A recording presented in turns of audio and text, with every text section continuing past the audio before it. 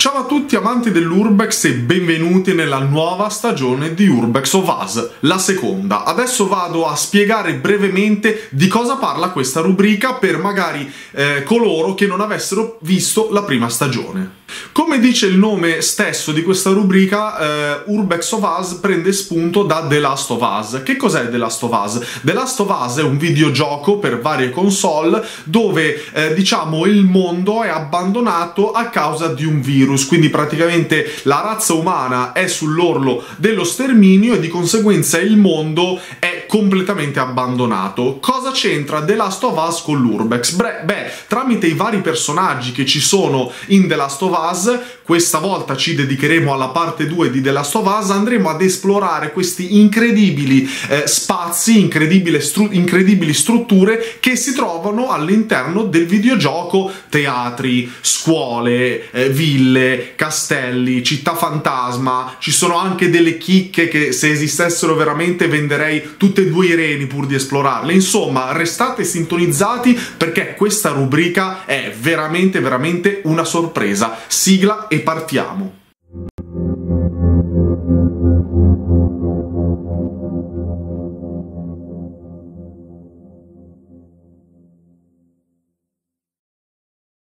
Ciao a tutti amanti dell'Urbex, benvenuti in questa nuova puntata, la terza di Urbex of Us. Benvenuti in questa nuova puntata di Urbex of Us, siamo alla seconda stagione di Urbex of Us e siamo già all'interno, come ben potete vedere, di un, stra- eh, di un posto abbandonato. Io vi ricordo di lasciare un bel mi piace se i nostri contenuti vi piacciono, ma adesso iniziamo ad esplorare questo posto. Dove ci troviamo? Allora, amanti dell'Urbex, ci troviamo in un luogo abbandonato lo avrete visto sicuramente dal titolo, ci troviamo in un luogo abbandonato incredibile, poi aspetto di sapere la vostra qui sotto nei commenti, fatemi sapere se esplorereste anche voi un luogo abbandonato così. Comunque, eh, all'interno di questo ufficio, quindi ci troviamo in un ufficio e questo lo abbiamo chiarito, eh, possiamo vedere che c'è rimasto ancora di tutto. Vedete che poi ci sono eh, dei, dei, tasti da premere perché ovviamente poi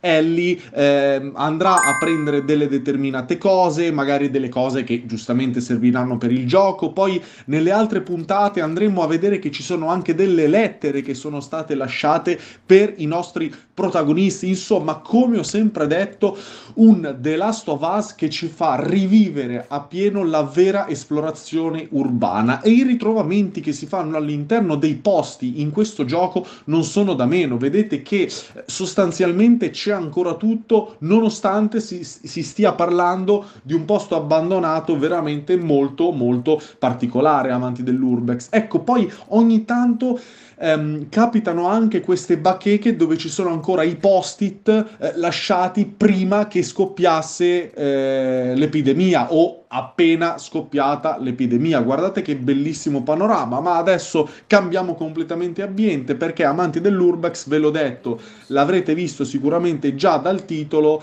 eh, andiamo ad esplorare, o per meglio dire, ci troviamo all'interno di un centro commerciale. Lo potete vedere anche voi stessi, potete vedere anche la neve che c'è a terra perché purtroppo il tetto è sfondato, comunque si sta parlando di un abbandono abbastanza datato, eh? cioè non è un abbandono di uno o due anni, adesso non mi ricordo quando sia ambientata eh, questa scena, ma comunque si sta parlando di un'epidemia che ha già preso largo sul nostro, diciamo così, pianeta. Quindi la razza umana, il genere umano, per meglio dire, è sostanzialmente, come dico sempre, sull'orlo dell'estinzione. Poi, naturalmente, un'altra cosa eh, che dovete immaginare è che quando un essere umano diventa infetto, quando il virus ormai è già in circolo, non ragiona più, quindi prende, spacca tutto. E quindi anche anche difficile trovare ambienti, è strano trovare ambienti così conservati. Ecco, questo magari un po' meno perché è un luogo pubblico e come dico sempre anche nelle nostre esplorazioni reali i luoghi pubblici tendono a resistere meno. Qui amanti dell'urbex lo vedete, bread and sweets vuol dire che ci troviamo nel reparto di pane e dolci, infatti che vedete, infatti vedete, scusatemi, che davanti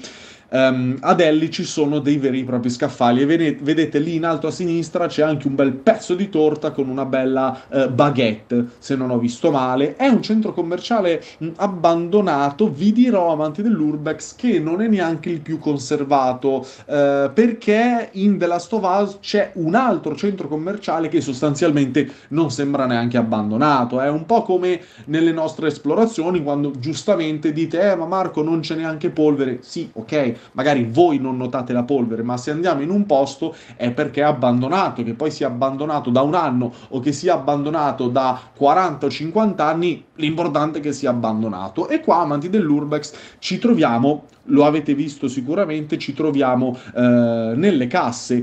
Come ho detto nell'ultima puntata, la cosa strana è trovare aggeggi dei nostri giorni. Ovviamente, ovviamente il videogioco è ambientato ai nostri giorni, eh, quindi troviamo eh, ad esempio tutta la tecnologia che eh, ritroviamo ai giorni nostri, computer, eh, tv con schermo piatto, eh, cellulari dell'ultima generazione, come vi dicevo prima, essendo ambientato ai giorni nostri, troviamo tutti gli oggetti a noi più cari dei nostri giorni. Qui vedete che in un supermercato eh, si vendevano, non so, credo di sì, che si vendano ancora anche eh, dei film, dei CD musicali. Ho detto, oddio, adesso i CD che si compravano una volta quando usciva un album o un singolo, non so quanto si usino visto eh, Spotify e tutte quelle eh, cavolate lì, però lì si vendevano ancora i film o i dischi, poi con i film non ne parliamo ancora, ancora peggio con Netflix, Amazon Prime, insomma, eh, lasciamo stare. Come vedete, amanti dell'Urbex, un centro commerciale che sì, ok, non è conservato alla perfezione, ma è comunque affascinante. Poi secondo me il fatto che ci sia la neve rende ancora il più tutto, come dico sempre io, molto suggestivo. Adesso andiamo un po' di corsa perché comunque la parte principale l'abbiamo vista. Qua ci troviamo nel magazzino, ne- nella dispensa del centro commerciale. Ecco, lì qualcuno ha tirato anche giù il muro. Può essere che siano stati gli infetti, perché poi ve l'ho detto prima, quando vengono infettati, quando il fungo, il virus ormai ha preso il sopravvento, momento praticamente non non ragionano più e quindi iniziano a tirare giù tutte le cose. Ormai il loro istinto di sopravvivenza è quello di mordere altre persone, naturalmente.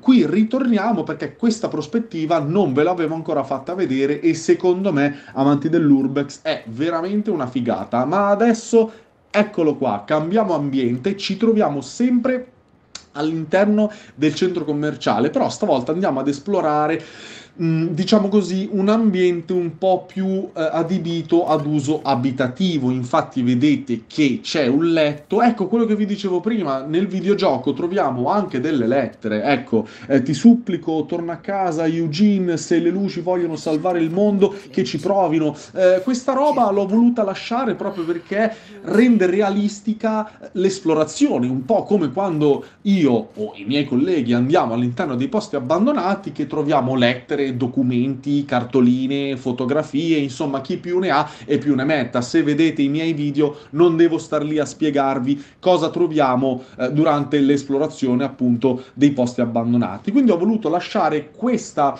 questa cosa di trovare le lettere perché secondo me rende il più realistico eh, la situazione. Già come vi dicevo prima The Last of Us è veramente fin troppo realistico. In aggiunta ho voluto lasciare questa chicca che secondo me la rende quasi quasi un'esplorazione, diciamo così, reale a tutti gli effetti. Io poi, secondo me, mh, mm, ci metto la mano sul fuoco, ci sono degli ambienti... Eh, che troviamo in The Last of Us che effettivamente sono abbandonati anche nella realtà e eh, proprio per questo vi dico di seguire tutte le puntate, amanti dell'Urbex, perché ci saranno un paio di chicche che io solo ad esplorare questi ambienti nel videogioco mi stavo mettendo a piangere dall'emozione, perché ho pensato, cavolo Marco, pensa se questi ambienti esistessero veramente. Quindi amanti dell'Urbex, vi do l'appuntamento, come sapete ormai ogni mercoledì alle 20.30, perché ogni mercoledì alle ore 20.30 esce una puntata targata Urbex MJ di Urbex of Us. Allora, qui ci troviamo,